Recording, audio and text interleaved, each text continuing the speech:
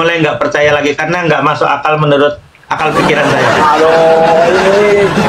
Uh, ini Bang Will ini udah kayak Sebentar, sebentar. Manjada wajada, sebentar. Dia itu hanya percaya katanya waktu zaman SD. Anak SD aja yang percaya kayak gitu. Udah besar nggak percaya kayak begitu Eh, Bang lagi. Will, sadar Bang Will.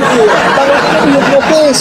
Saya tahu Bang Will ini sadar tapi nggak mampu, nggak nggak bisa melawan itu. Ini Edis ini Bang Will bahan bakar neraka dia ini Bang Will.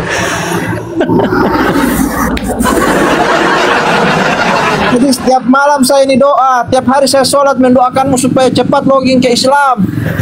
Tetapi kau ini lebih menjauh ini kau ini, Edis. Om Willy, sebentar. Saya mau tanya dulu alasan Om Willy. Kenapa Om Willy tidak percaya dengan pertanyaan-pertanyaan alam kubur itu Om Willy? Apa sebabnya Om Willy?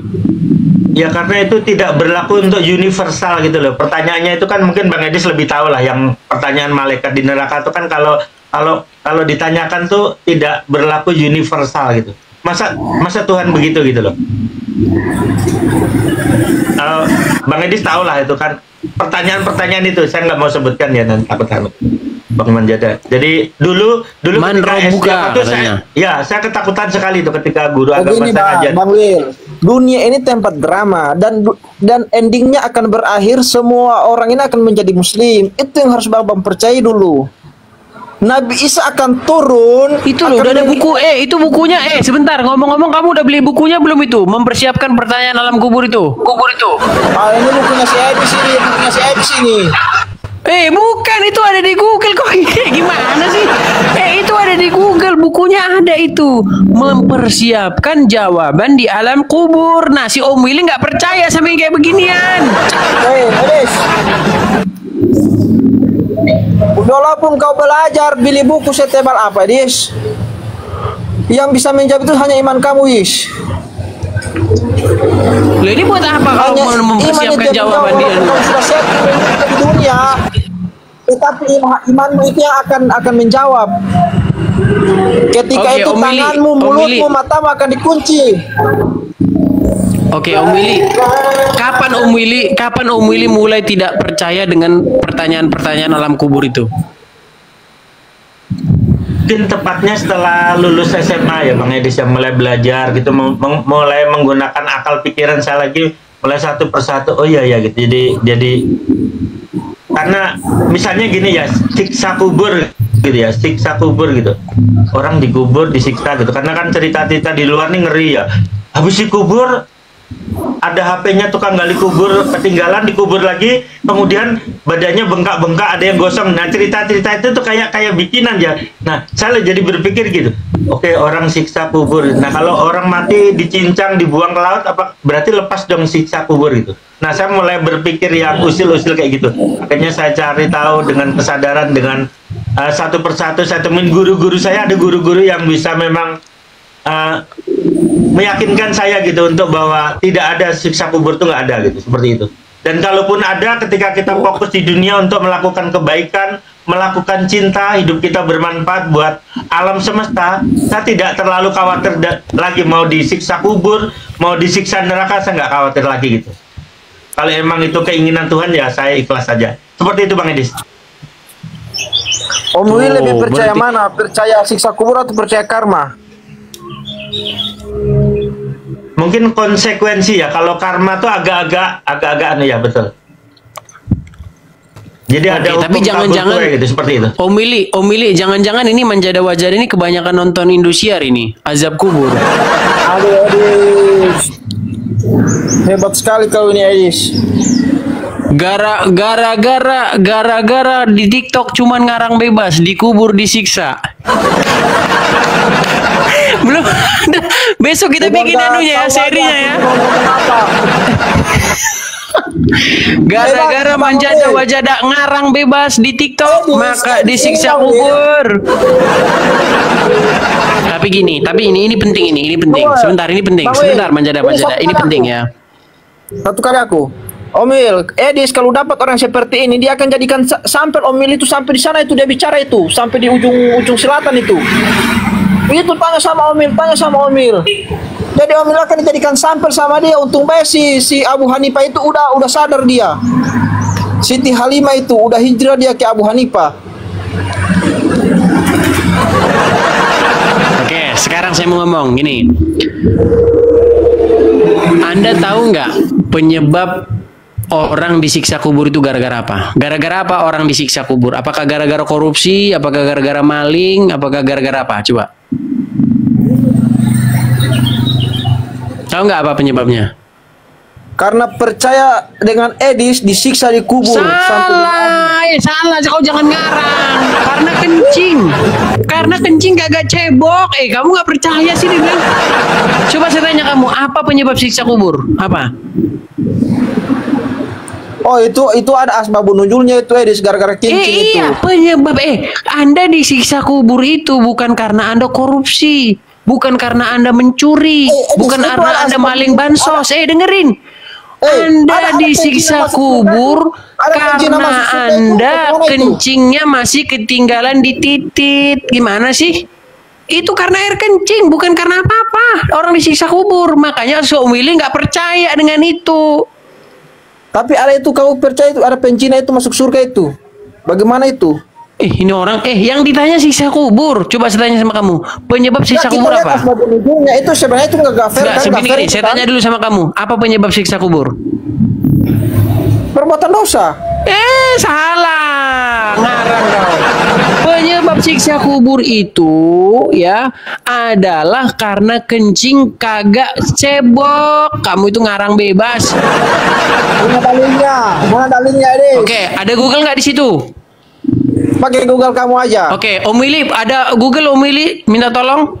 Coba Om Willy ditanu dibaca dulu, diklik di Google penyebab siksa kubur. ceritanya itu Sebentar, eh ini biar eh sebentar ini biar dia nu penyebab siksa kubur apa? Apakah ada di situ penyebab siksa kubur gara-gara korupsi? Coba. Sebab utama siksa kubur coba. Ya Allah maafkanlah Edis ya Allah. Coba biar dibacakan dulu nih sama pemilik penyebab apa penyebab siksa kubur.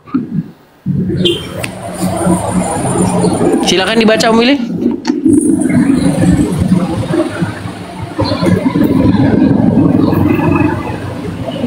Eh ini Masih dibisukan. Ini, ini persoalan Omili masih Islam dibisukan, ini. tidak terdengar. Omili tidak terdengar, Omili dibisukan, Omili dibisukan. Oke, oke, oke, Bang Idis dan teman-teman saya izin bacakan ini dari Google ya teman-teman. Perbuatan maksiat seluruhnya adalah penyebab dari ajab kubur. Namun tentunya terdapat beberapa sebab khusus seperti naminah mengadu domba, gibah, berzina, memakai riba, kemudian tidak berhati-hati dan air kencing dan air kencing.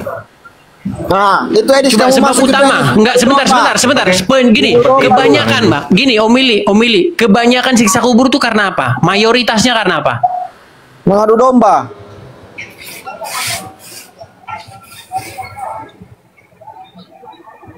Kebanyakan siksa kubur itu disebabkan oleh apa?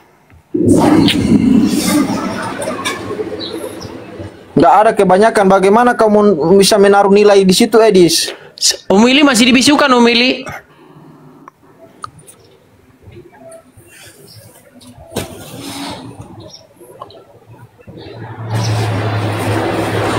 Omil dibuka mic-nya itu Omil. Ini bersih gitu ya.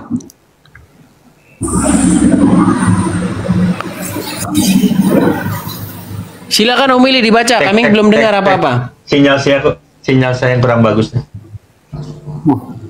Gue laporin si Juma lu Edis ya tunggu ya. Oke, Om Willy nampaknya sinyalnya kurang teman-teman. Coba dia, coba Karena Om Willy keluar lagi, ke keluar dulu baru masuk lagi.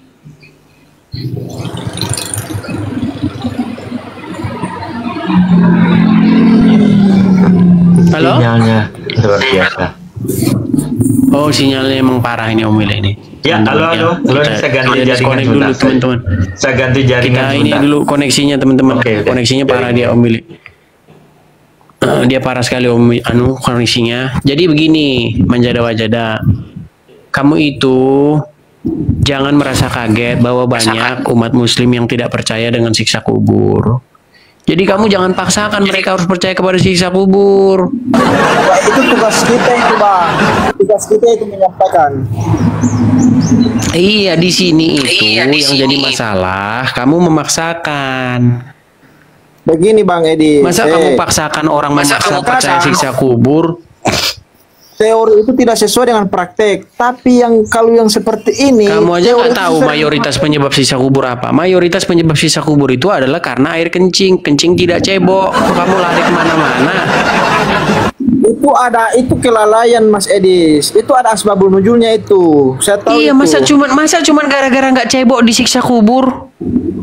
Ada juga cerita, masa cuman gara-gara apa namanya itu seorang penjina itu gara-gara menyelamatin anjing itu masuk surga?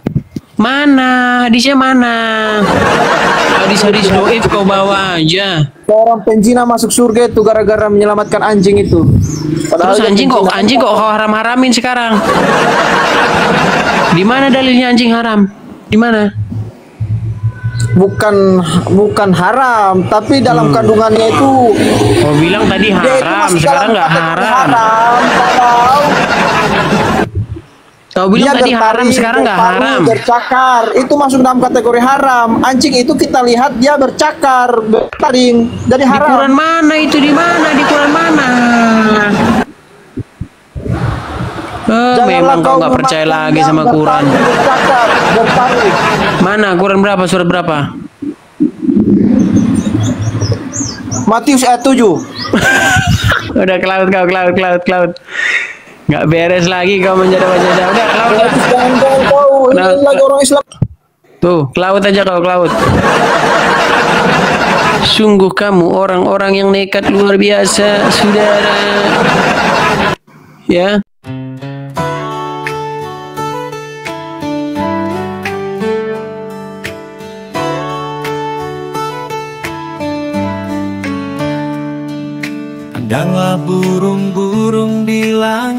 Yang tidak menabur Tidak menuai dan tidak mengumpulkan bekal. Namun diberi makan oleh Bapamu yang di sorga Bukankah kamu jauh melebihi burung-burung itu? Sebab itu janganlah kamu khawatir akan hari besok Karena hari mempunyai kesusahannya sendiri. Kesusahan sehari cukuplah untuk sehari. Cukuplah untuk sehari.